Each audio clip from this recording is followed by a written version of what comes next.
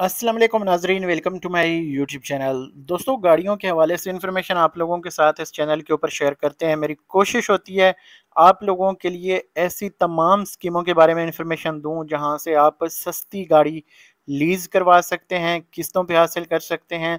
मुकम्मल रिसर्च के बाद और अल्हम्दुलिल्लाह, तकरीबन चार साल से मैं आप लोगों के साथ ये इन्फॉर्मेशन शेयर कर रहा हूँ।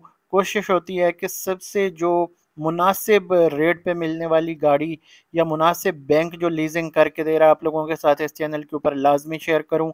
ज़्यादातर लोगों की जो डिमांड होती है, वो छोटी गाड़ियों के हवाले से है, लेकिन आज की वीडियो में हम बड़ी गाड़ियों को भी देखेंगे।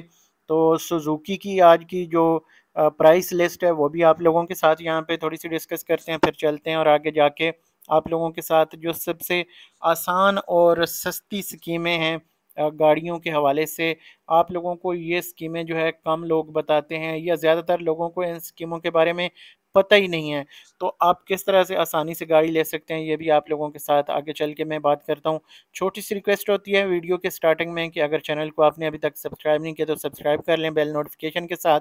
अगर वीडियो अच्छी लगे तो लाइक कर दीजिएगा और अच्छा सा कोई कमेंट कर दीजिएगा।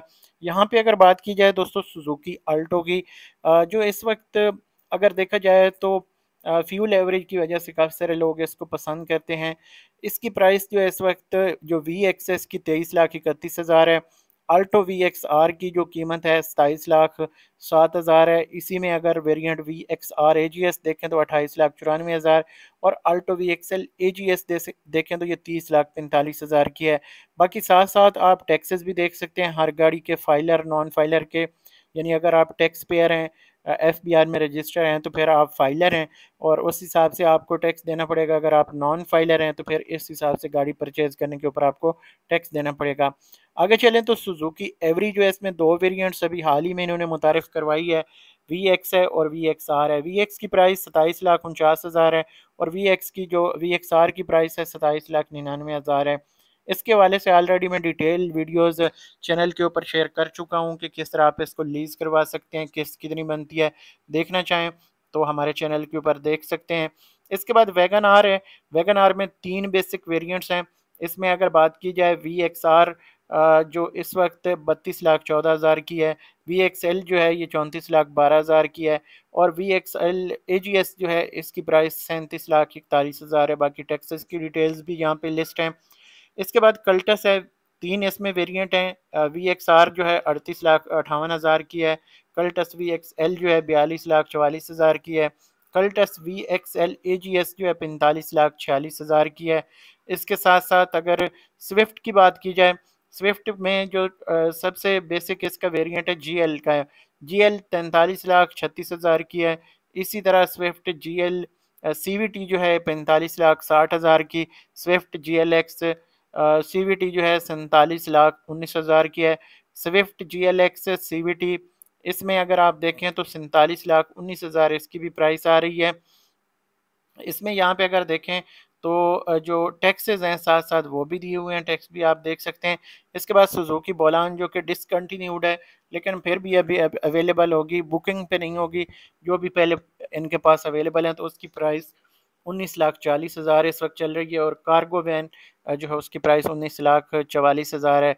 यानी चार हज़ार का दोनों में फ़र्क है। इसके बाद रावी है पिकअप जो होती है, अगर इसको विदाउट डेक आप ले डेक के साथ लेते हैं तो अठारह लाख छप्पन हज़ार इसकी अठारह लाख छप्पन हज़ार कीमत है और विदाउट डेक लेते हैं तो सत्रह लाख इक्यासी हज़ार इसकी प्राइस है। अब देख लेते हैं दोस्तों, जो इसकी जो सबसे बेहतरीन इस वक्त बैंक लीजिंग करके दे रहा है, वो कौन सा है, ये आप लोगों के साथ मैं यहाँ पे शेयर कर देता हूँ। जी तो फ्रेंड्स हम आ चुके हैं जनाब सुजुकी फाइनेंस अरेंजमेंट प्रोग्राम के वेबसाइट के ऊपर और यहाँ पे आप लोगों को जो सबसे अहम चीज़ बताना चाहता हूँ, अगर आप सुजुकी की कोई छोटी गाड़ी सेलेक्ट करते हैं या बड़ी गाड़ी सेलेक्ट करते हैं तो इसमें यहाँ पे आप देख सकते हैं, बताया जा रहा है कि आप अगर यहाँ से अप्लाई करेंगे तो लो मार्कअप रेट्स आपको, यानी सबसे कम मार्कअप आपको लगा यहाँ पे लगेगा और फास्ट लोन प्रोसेसिंग है, आप एप्लीकेशन देंगे तो जल्दी प्रोसेस हो जाएगी और प्रायोरिटी डिलीवरी है। अच्छा इसमें यह कि गाड़ी आपको जल्दी डिलीवर कर दी जाएगी। अब यहाँ पे काफ़ी सारे लोगों के जो सवाल आते हैं, वो आते हैं कि क्या हमें बैंक से गाड़ी लीज़ करवानी चाहिए या नहीं करवानी चाहिए? तो भाई देखें बैंक जो हैं अपनी रिक्वायरमेंट्स पूरी करके फिर ही आपको गाड़ी देते हैं।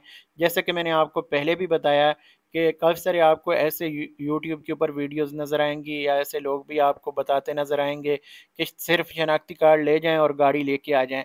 तो बैंकों से गाड़ी लेने का ऐसा कोई सीन नहीं होता। आपकी अर्निंग अच्छी है, बैंक के साथ लेन देन अच्छा है बैंक स्टेटमेंट अच्छी है तो फिर डेफिनेटली आपको बैंक गाड़ी दे देगा। अगर आपके बैंक के साथ कोई लेन देन ही नहीं है, आपका अकाउंट अक्सर ज़ीरो बैलेंस रहता है। जो पैसे आते हैं वो निकाल लेते हैं। तो भाई ऐसे लोगों को बैंक गाड़ी आसानी से नहीं देता। हाँ या फिर ये है कि आप उसको दो चार महीने छः महीने पैसे उसमें रख के उसका एवरेज बैलेंस अच्छा करें और उसके बाद गाड़ी अप्लाई करें। एक तरीक़ाकार होता है हर चीज़ का। कुछ बैंक बेनिफिट आपसे लेता है, कुछ फिर आप उससे लेते हैं। लेकिन बैंक आपको जो गाड़ी लीज़ करके देगा, वो उसके ऊपर अच्छे खासे पैसे चार्ज करेगा। अब मैं आपको यहाँ पे कैलकुलेशन बता देता हूँ। इसमें दो बैंक जो हैं, वो सुजुकी कंपनी के साथ मिलके आपको गाड़ियाँ लीज करके दे रहे हैं। अगर यहाँ पे देखा जाए तो ये बैंक है जनाब, बैंक अल्फला और एमसीबी दोनों बैंकों में थोड़ा सा फ़र्क है, किस्त में भी थोड़ा सा फ़र्क होगा, कैलकुलेशन हम यहाँ पे करते हैं। तो बेसिक चीज़ जो आपको यहाँ पे बताना चाहता हूँ कि अगर आप गाड़ी ज़रूर किस्तों पे हासिल करना चाहते हैं तो मैं आप लोगों को यहाँ पे कैलकुलेशन करके दिखा देता हूँ। आपको पता चल जाएगा कि भाई कितनी यहाँ पे गाड़ी सस्ती है या महँगी है। सबसे पहले अगर देखें तो मैंने एक जो कल्टस है, इसकी यहाँ पे कैलकुलेशन की हुई है। तो इसको आप ऐसे नज़र मार लें, फिर चलते हैं वी एक्स आर जो वैगन आर या आल्टो है, उसको भी हम देखते हैं। उनकी प्राइसेस और उस हवाले से अगर हम कैलकुलेशन करके देखें तो क्या किस्त बन रही है। यहाँ पे अगर बात की जाए तो दोस्तों जो गाड़ी है तकरीबन, ये बयालीस लाख छप्पन हज़ार कीमत बता रहे हैं, लेकिन कीमत में थोड़ा सा फ़र्क है। ऑलरेडी मैं कीमतें आप लोगों के साथ शेयर कर चुका हूँ। तो इसलिए इसमें किस्त जो है वो थोड़ी सी फ़र्क हो सकती है, हज़ार, दो हज़ार। वो आपको एक राउंड अबाउट यहाँ से आइडिया हो जाएगा राउंड फिगर्स में, कि कितनी इसकी किस्त बन रही है। सबसे पहली चीज़ ये है कि आपको प्रोसेस फ़ीस जो है वो तकरीबन आठ हज़ार सात सौ पे करनी पड़ती है। इसमें हो सकता है कुछ टैक्सेस वगैरह भी हों, और ये दस बारह हज़ार तक भी चली जाए। ये एन मुमकिन है। लेकिन ये प्रोसेस फ़ीस जो है, ये नाकबिल वापसी होती है। अगर आपकी फ़ाइल रिजेक्ट होती है, आपकी एप्लीकेशन रिजेक्ट होती है, या एक्सेप्ट होती है, दोनों सूरतों में ये आपकी फ़ीस जो है, नाकबले वापसी होती है। इसके बाद इंश्योरेंस है 2.5 परसेंट के हिसाब से गाड़ी की कीमत के मुताबिक ये एक लाख छः हज़ार बन रही है। इसी तरह हर महीने की किस्त एक लाख बारह हज़ार आठ सौ बन रही है।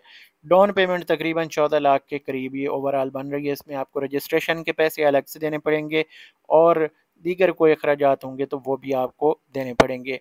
अब यहाँ पे इसी गाड़ी को अगर हम एम सी बी बैंक के ज़रिए से देखते हैं तो एम सी बी बैंक जो है वो क्या कहता है? सबसे पहले तो तीस परसेंट हो गया इसमें, और बाकी यहाँ पे फाइनेंसिंग हम सिलेक्ट कर लेते हैं एम सी बी और इसमें वेरिएबल है। बाकी सेम चीज़ें हैं, तकरीबन यहाँ पे अगर देखा जाए तो ये तीन साल पे आ गए, और इसको हम तीन तीस परसेंट यहाँ पे गाड़ी हमने सिलेक्ट नहीं की हुई।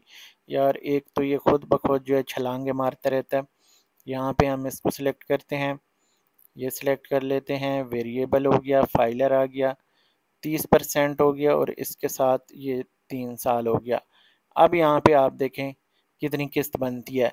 अब किस्त यहाँ पे दोस्तों बन रही है एक लाख उन्नीस हज़ार। तो थोड़ा सा इसमें फ़र्क है। बहरहाल दोनों तरह से मैंने आपको बता दिया है और एडवांस जो है तकरीबन तेरह लाख सत्तर हज़ार के करीब बन रहा है, सत्तर इकहत्तर हज़ार। अब छोटी गाड़ियाँ देख लेते हैं, ये तो है बड़ी गाड़ी। छोटी गाड़ी इसी में चलो, पहले एमसीबी में देख लेते हैं और फिर इसके बाद चलते हैं। जैसे यहाँ पे आल्टो है। आल्टो का जो वेरिएंट वी एक्स है, सस्ते वाला वो देखते हैं वाइट करते हैं वेरिएबल तीस परसेंट, अब ये पाँच साल की लीजिंग हो जाएगी। इसमें अगर हम देखें तो ये अब किस्त जो है बन रही है तकरीबन छियालीस हज़ार पाँच सौ। इसमें कीमत का थोड़ा सा फ़र्क आ रहा है। कीमत इसकी है, आई थिंक तेईस लाख, कुछ है तेईस लाख इकतीस हज़ार, लेकिन कैलकुलेटर बाईस इक्यावन बता रहा है। तकरीबन अस्सी हज़ार के राउंड अबाउट फ़र्क आ रहा है। तो इसमें आप समझें कि हज़ार पंद्रह सौ का फ़र्क देख सकते हैं किस्त वगैरह में। यहाँ पे इसको हम देख लेते हैं। ये हमारा हो गया, जनाब बैंक जो है अब चेंज करके देख लेते हैं, जैसे एम सी बी है तो अब अल्फला करके देख लेते हैं। अल्फला करेंगे, कैटेगरी लीजिंग करेंगे और लीजिंग यहाँ पे वी एक्स है और गाड़ी जो है हमारे पास है Alto variant V X white markup यहाँ पे क्या करता है वेरिएबल ही रहता है फिक्स्ड नहीं होता और इसमें तीस परसेंट के साथ हम करते हैं पाँच साल। अब यहाँ पे देखें, ये कितनी किस्त बना रहा है? ये तकरीबन बना रहा है पचास हज़ार तीन सौ इकतीस रुपये तो ये दोस्तों मेरा मकसद आप लोगों के साथ इन्फॉर्मेशन दोनों तरह से शेयर करना है। आपको बताना है कि भाई कितनी किस्त बनती है थोड़ा सा किस्त में फ़र्क आ रहा है। इसी तरह अगर हम वैगन आर को यहाँ पे पहले चेक कर लेते हैं। वैगन आर जनाब, ये हमने सेलेक्ट की और इसमें वी एक्स आर सेलेक्ट करते हैं वाइड करते हैं। फाइलर और ये किस्त जो है हम पाँच साल तक एक हज़ार सी तक जो गाड़ी है उसकी हम किस्त पाँच साल कर सकते हैं। लेकिन इसमें एक चीज़ और ऐड करते जाऊँ कि अगर तीस लाख से ज़्यादा महँगी गाड़ी है तो ऊपर वाले जो पैसे हैं वो भी आपको पे करने पड़ सकते हैं। यानी तीस लाख तक बैंक आपको देता है, बाकी जो पैसे हैं वो आप खुद पे करते हैं। तो ये तीस लाख के राउंड अबाउट है तो इसमें आपको एडवांस ही सिर्फ़ देना पड़ेगा। और ये एडवांस तकरीबन अगर देखें तो यहाँ पे दस लाख चौवन हज़ार है, किस्त इसकी इकहत्तर हज़ार आठ सौ है। अब ये देखें पिछले चार पाँच साल में इतना ज़्यादा जो रेट है, जो मार्कअप रेट है वो बढ़ा है। स्टेट बैंक ऑफ़ पाकिस्तान ने इंटरेस्ट रेट इतने बढ़ाए हैं। ये गाड़ी 2018 में मैंने सिर्फ़ चौबीस हज़ार किस्त पे ली थी और अब मैंने क्लियर करवाई है। तो अब जिस वक्त मैंने क्लियर की बाईस हज़ार उसकी किस्त बन रही थी। और गाड़ी भी थी यही Wagon R V X L थी। तो ये अब ख़ुद देखें कि उस वक्त 12 लाख की ये तकरीबन गाड़ी थी, अब ये 32 लाख की बत्तीस से भी बल्कि ज़्यादा होगी इस वक्त यहाँ पे अगर देखें तो ये चौंतीस लाख के करीब है, ये चौंतीस लाख आप देख सकते हैं वी एक्स एल के। तो मतलब थोड़ा सा यहाँ पे चार्ट के ऊपर, कैलकुलेटर के ऊपर फ़र्क आ रहा है तो इसमें हज़ार, दो हज़ार किस्त का भी आपका फ़र्क हो सकता है। तो राउंड अबाउट आपको एक आइडिया हो जाएगा दस लाख चौवन हज़ार आपको एडवांस की मद में देने पड़ेंगे, फिर रजिस्ट्रेशन इसकी करवानी पड़ेगी और सारी चीज़ें आपको करवा के फिर गाड़ी आपके पास आएगी। तकरीबन ये आपको बारह लाख के राउंड अबाउट एडवांस दे के ये नई गाड़ी आपके हाथ में आएगी। फिर आपने हर महीने इकहत्तर हज़ार तकरीबन बहत्तर हज़ार किस्त बनती है। बहुत बड़ी किस्त है यार। ये आ, मेरा ख्याल है कि इस वक्त किसी भी बंदे के लिए जो एक सफ़ेद पोश या मिडिल क्लास बंदा है जो पहले सोच लेता था गाड़ी परचेज़ करना किस्तों पे मुश्किल हो चुका है। तो इसलिए मैं आपको यहाँ पे रिकमेंड करूँगा। देखें एक बिरादराना, यहाँ पे एक मैं ओपिनियन ही दे सकता हूँ, बाकी तो आप लोगों की रिक्वायरमेंट्स के हिसाब से हैं। अगर तो आप बिज़नेस करना चाह रहे हैं, आप गाड़ी से पैसे कमा के फिर किस्त पे करते हैं, फिर तो ठीक है। लेकिन अगर आप ये सोच रहे हैं कि आप घर खड़ी करना है, आपने कभी कभार उसको यूज़ करना है, या ऑफ़िस वर्क के लिए, या छोटा मोटा फैमिली का आपका यूज़ है तो सेकेंड हैंड गाड़ी पाँच छः साल चली हुई दो हज़ार अठारह मॉडल बीस मॉडल आपको बीस, इक्कीस, बाईस इस तरह के फिगर में मिल जाएगी।